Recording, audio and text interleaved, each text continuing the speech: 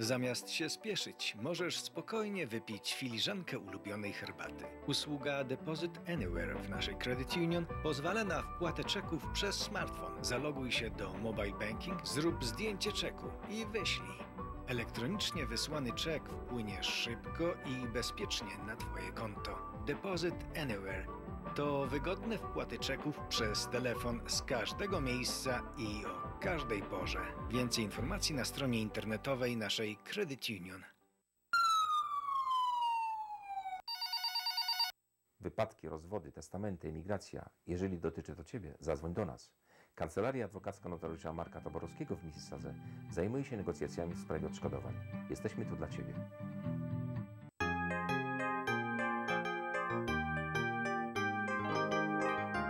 Z Piastem polecieć możesz wszędzie. 100% satysfakcji. Ceny? Sprawdź najpierw u nas. Założona w 1959 roku firma Malicki Malicki jest dynamicznym biurem adwokackim świadczącym wysokiej klasy i dostępne finansowo usługi prawne. Malicki Malicki może pomóc Państwu w kwestiach prawnych, osobistych, rodzinnych czy biznesowych, takich jak kupno i sprzedaż domu, założenie biznesu, przygotowanie testamentu czy podziału majątku, udzielanie porad prawnych w sprawach cywilnych i karnych oraz reprezentowanie klienta podczas rozpraw sądowych. Firma Malicki Malicki posiada wiedzę i doświadczenie, aby Państwu pomóc. Prosimy dzwonić 905 274 1650. Malicki Malicki. Dwa biura w Mississadze przy 650 Lakeshore Road East oraz 1420 Burnham Thorpe Road East. Polski Zakład Samochodowy Marks Garage dokonuje wszelkich napraw elektrycznych i mechanicznych. Specjalizujemy się w naprawach automatycznych skrzyń biegów. Marks Garage 5 Tupper Avenue w Etobicoke, tuż obok skrzyżowania ulic Kipling i Horner. Drukarnia Nowa Printing w Mississadze oferuje pełny serwis od projektu do druku, wysoką jakość, krótkie terminy realizacji oraz konkurencyjne ceny. Telefon 905 281 32 31.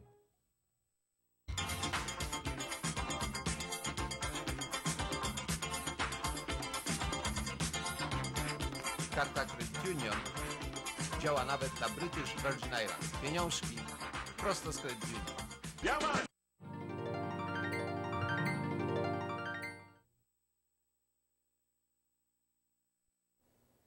Teraz zapraszam na wiadomości z Polski przygotowane przez telewizję Trwam.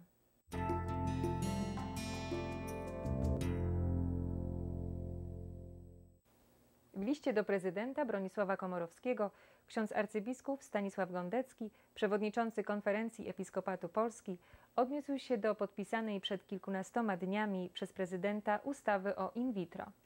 Ksiądz arcybiskup wyraża zdziwienie, że ustawa, która ma tyle słabości, nie została skierowana w całości bez podpisu prezydenta do Trybunału Konstytucyjnego.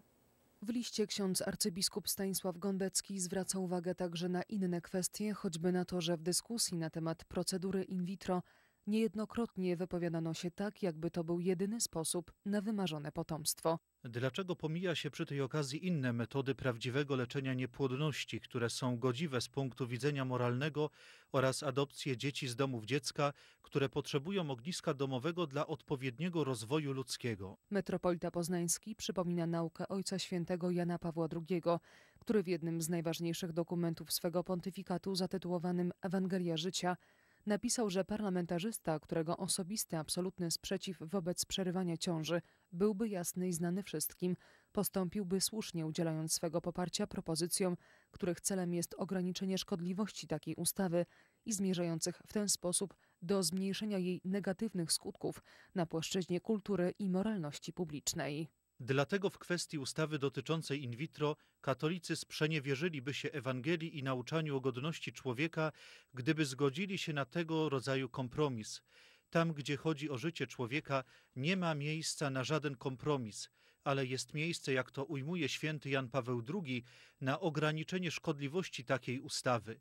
I takiego ograniczenia szkodliwości w tym przypadku zabrakło. Pisze ksiądz arcybiskup. Przewodniczący Konferencji Episkopatu Polski zwrócił się wcześniej do prezydenta Bronisława Komorowskiego z prośbą o niepodpisywanie ustawy o in vitro.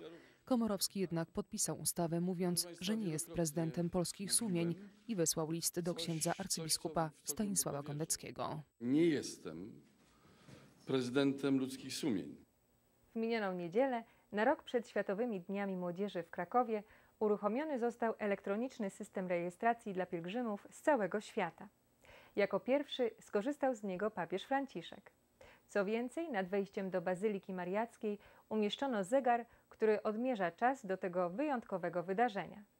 Na równy rok przed rozpoczęciem Światowych Dni Młodzieży w Krakowie ruszył system rejestracji uczestników. Na ten wyjątkowy dzień czekało wielu pielgrzymów z całego świata. To właśnie dzisiaj zaczyna się ta ostatnia prosta przygotowania do Światowych Dni Młodzieży e, w Krakowie. E, I że to już jest ten czas, e, kiedy naprawdę, jeśli ktoś jeszcze nie myśli o Światowych Dniach Młodzieży, no to powinien zacząć. Jako pierwszy do grona pielgrzymów dołączył papież Franciszek. Osobiście pragnąłem rozpocząć te zapisy i dlatego poprosiłem, aby przyprowadzono tu chłopca i dziewczynę, aby byli wraz ze mną w momencie rozpoczęcia zapisów tutaj, w waszej obecności. siano con me nel momento di aprire l'iscrizione Gospodarzem przyszłorocznych Światowych Dni Młodzieży jest Kraków. To tu dziś ksiądz kardynał Stanisław Dziwisz uruchomił zegar odliczający 366 dni dzielące młodzież od spotkania z papieżem Franciszkiem. 7, 6, 5, 4, 3, 1. Jestem Podczas uroczystej mszy świętej w Bazylice Mariackiej metropolita krakowski powiedział, że główną ideą przyszłorocznego wydarzenia jest pójście za Chrystusem. W homilii ksiądz kardynał przypomniał słowa ojca świętego Jana Pawła II, który nazwał młodych nadzieją Kościoła. To on ich nazwał w roku jubileuszowym 2000 na Tor Vergata w Rzymie stróżami poranka, czuwającymi o świcie trzeciego tysiąclecia. W sercu tego niezwykłego pasterza, w sercu papieża młodych, zrodził się dalekosiężny projekt Światowych Dni Młodzieży.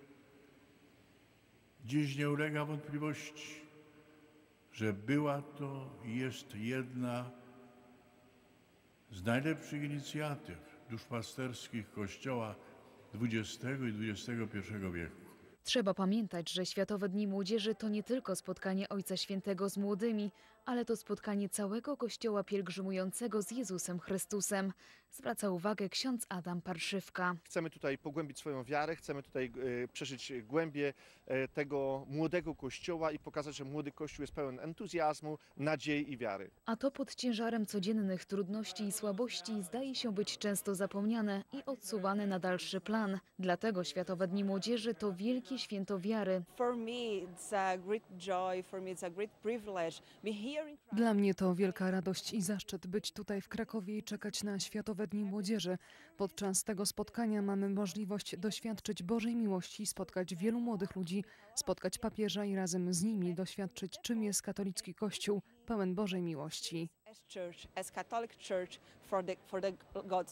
Brałam udział e, we wcześniejszych Światowych Dniach Młodzieży, byłam w Madrycie pielgrzymem, później pojechałam do Rio jako wolontariuszka e, i wiedziałam, że po prostu tutaj e, też chcę się zaangażować jako wolontariuszka. Światowe Dni Młodzieży 2016 odbędą się pod hasłem Błogosławieni miłosierni, albowiem oni miłosierdzia dostąpią. Śledztwo prowadzone w sprawie katastrofy smoleńskiej nie jest przewlekłe. Tak uznał Sąd Najwyższy, oddalając skargę części rodzin ofiar katastrofy. O oddalenie skargi wnosiła również Wojskowa Prokuratura Okręgowa w Warszawie. Innego zdania jest osiem rodzin ofiar katastrofy. Jedna z nich na rozpatrzenie wniosku o ekshumację czekała ponad trzy lata. Wniosek w końcu oddalono. Niemal dwie godziny trwało niejawne posiedzenie w Izbie Wojskowej Sądu Najwyższego. Odbywało się za zamkniętymi drzwiami z powodu tajności i obszerności akt sprawy. Sędziowie stwierdzili ostatecznie, że śledztwo smoleńskie jest zawiłe, ale nie przewlekłe. Ocena, czy doszło do przewlekłości, e, nie może e, odnosić się tylko do subiektywnych odczuć strony, jak również upływu czasu, ale powinna stanowić obiektywną, e, wypadkową tych czynników, o których tu przed chwilą mówiłem, jak też czasu, który jest niezbędny do, który jest potrzebny do podejmowania czynności niezbędnych w postępowaniu przygotowawczym zgodnie z procedurami, z określonymi procedurami wskazane w tych, w tychże mm, przepisach. Wskazał sędzia Marek Pietruszynski, uzasadniając postanowienie oddalające wniosek o stwierdzenie przewlekłości śledztwa w sprawie katastrofy smoleńskiej.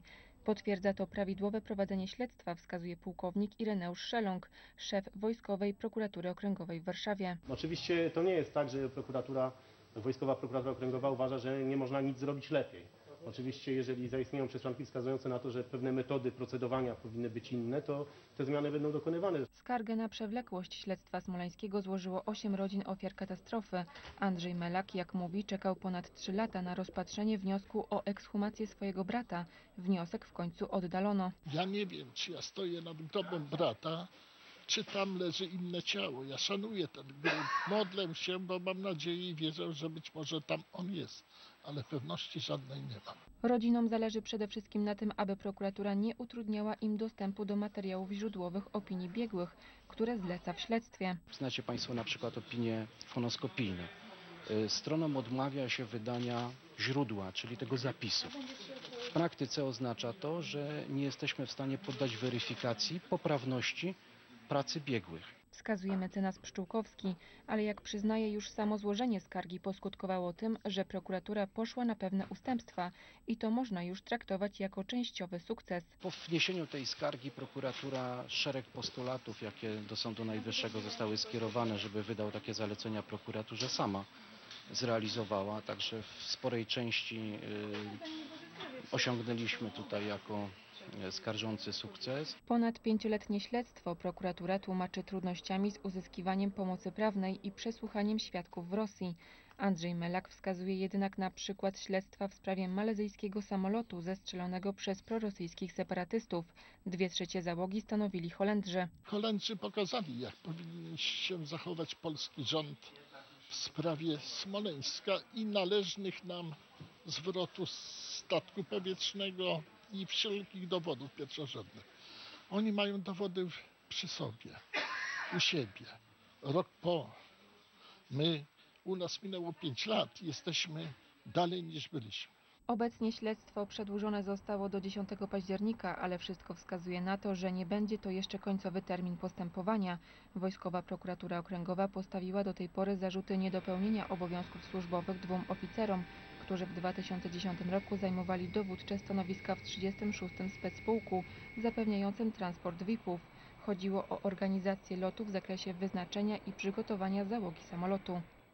Znajdujące się w Żukowicach, maleńkiej miejscowości koło Głogowa, schronisko dla bezdomnych mężczyzn imienia świętej siostry Faustyny od 16 lat pomaga osobom w trudnych sytuacjach życiowych.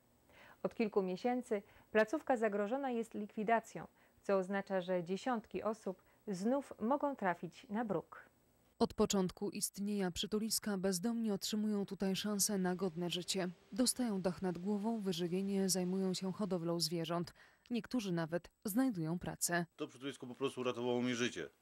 Gdyby nie to przytulisko, no nie wiem, może bym się pociął, zabił, zaśpał, nie wiem jak to ująć, ale bym może skończył ze sobą. Tu dzięki księdzu, księdzu proboszczowi, no jest tu jak jest, ale jest dobrze.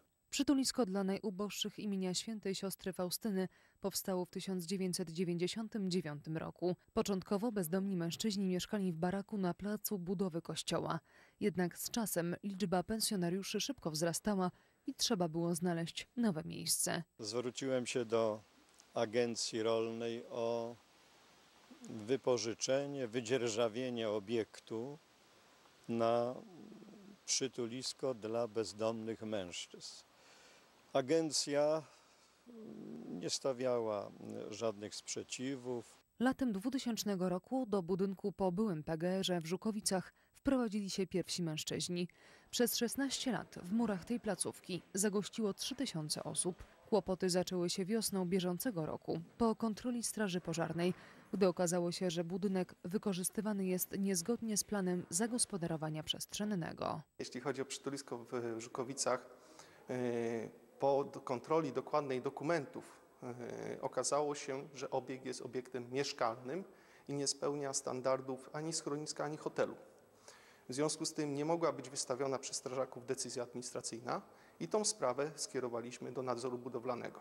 O całej sprawie poinformowano też właściciela terenu, czyli Agencję Nieruchomości Rolnych. W efekcie agencja wypowiedziała parafii umowę na dzierżawę budynku.